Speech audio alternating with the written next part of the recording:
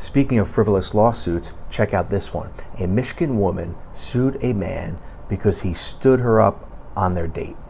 That's right, this is true.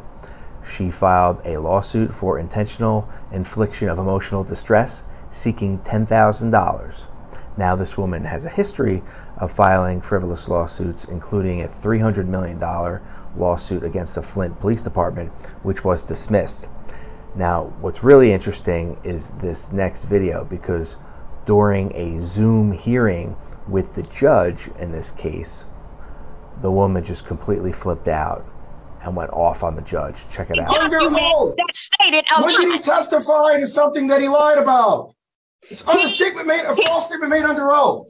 Bottom line is, you said it's a criminal offense, so I will send it to circuit court. Are we done here? No, no, you don't. You don't understand, ma'am. You don't Are we done here?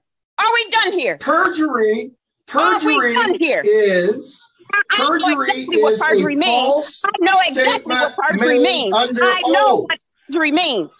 Are we done No, you here? Is it a don't. criminal offense or not? What statement? I don't see anything in the complaint that says he made some false statement You under oath. Because you don't know what happened. You're on the outside looking in. You don't know anything. But you're the plaintiff. Put on You that have wait a minute. You are the Are we plaintiff. done here? You have to Are lay we done out here?